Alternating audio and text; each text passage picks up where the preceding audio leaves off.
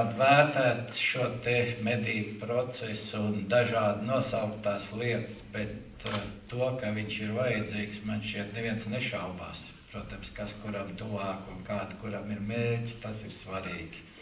Un prieks, ka šāda izstāde notiek un it sevišķi Baltijas sadarbībā ne visās lietās mēs tik vienoti esam, kā šeit. Tas ir acīm redzot ļoti vērtīgi, lai šie cilvēciskie kontakti veidotos. Man šķiet, medībām vēl vienu to pusi es gribētu uzsvērt, ko nevienmēr uz, ir tā izceļ, bet man viņa liekas ļoti svarīga. Medības ir tomēr tāda ļoti pozitīva kontaktu vieta, kad cilvēki apmainās ar domām un, un skatās uz tām liekā, lietām reāli, bez liekas diplomātijas. Tāpēc es arī šajā vietā esmu aizmirsis visu diplomātisko protokolu un izsakos, ko es par šīm lietām domāju.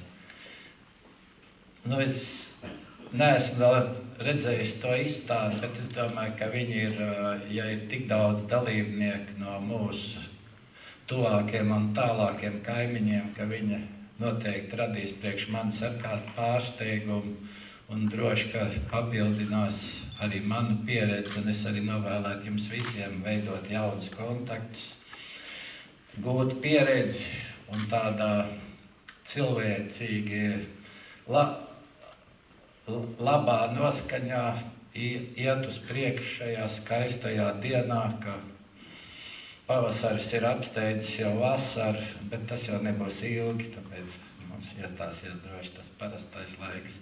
Paldies, lai mums visiem kopā veicās. Sabiedrība tomēr nevienmēr novērtē pareizi medniekus un uh, mednieku gūmus un mednieku darbus, bet mednieki ir tie, kas palīdz gan aizsargāt dabu, gan rūpējās par tās ilgspējīgu un visām citām lietām.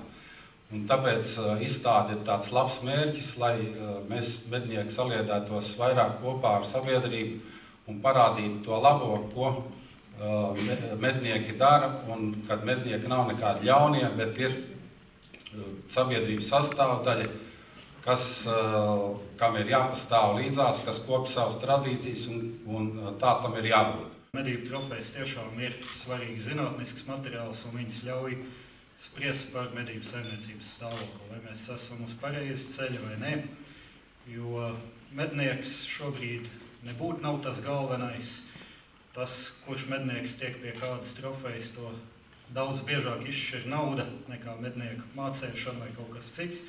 Bet uh, tas, vai trofejas ir labas un kvalitatīvas, uh, tas tiešām apliecina to, kāda ir šī medību saimniecība. Un Latvijā mēs varam teikt, ka mums trofeju kvalitāte nepaliek sliktāka.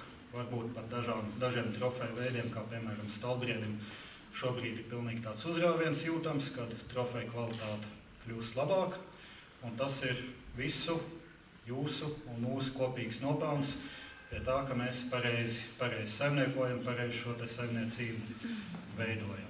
Ļoti ceru, ka šī vieta, meža parks un gaidāmā muzeja naktis būs iemesls tam, ka šo izstādi apmeklēs arī ļoti daudz pilsētnieki, nemednieki, un ka viņi tiešām šeit daudz ko iemācīsies. Jo pilsētas bērni ir ļoti tālu no tā, kas notiek dabā. Šobrīd daudzi no viņiem nezina, kā atšķirt briedi no aļņa, un, un tas, ka briedis vai alns šos te varenos rakstus katru gadu nomet un izaudzē no jauna, tas viņiem ir kaut kas pilnīgi neiedomājams. Es ceru, ka būs tiešām daudz cilvēku, kas daudz ko jaunu un labu uzzinās par medībām.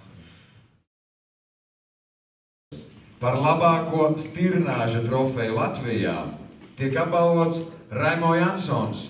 Un pēc CIC punktu summa kopējā ir 141,45.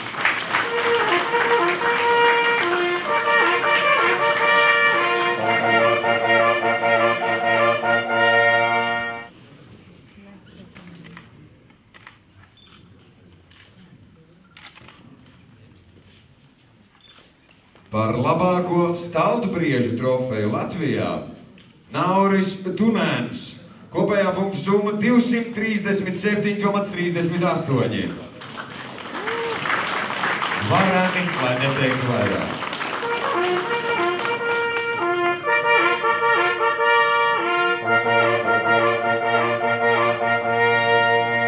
Par labākajiem un lielākajiem ilgņiem trofeja latviešos Sandis Rozentāls 128,70 punkti.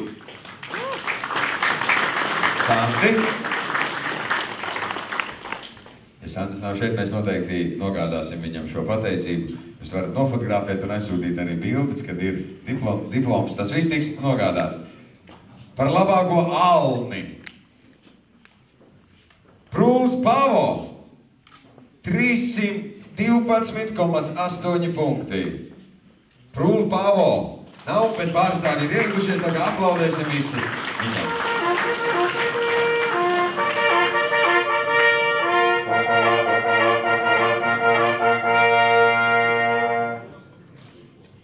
Un vēl kāda balva par labāko izstādes trofeju.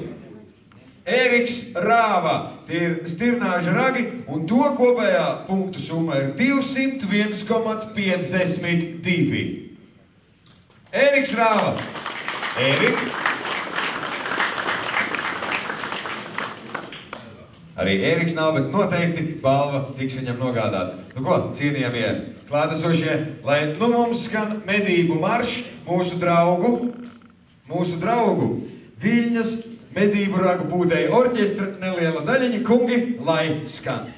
thank you